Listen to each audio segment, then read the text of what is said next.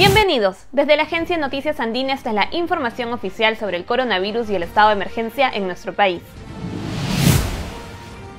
El gobierno evalúa mantener la cuarentena en cinco regiones de nuestro país. Estas son Loreto, Lambayeque, Ancash, La Libertad y Piura, donde no baja el nivel de contagio por el COVID-19. En estos lugares todavía no se iniciarían las actividades económicas.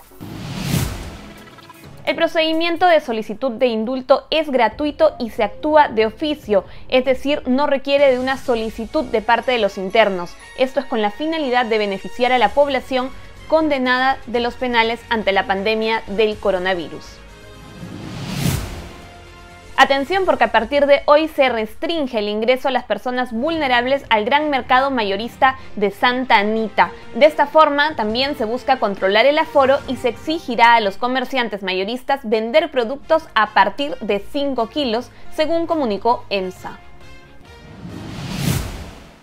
Más de 350 personas que buscan retornar a sus regiones fueron trasladadas al Centro Recreacional Huampaní, donde pasarán pruebas rápidas y mantendrán una cuarentena controlada por dos semanas. Ellos son de Piura, Loreto y Huánuco, y al terminar esta cuarentena regresarán a sus regiones de origen.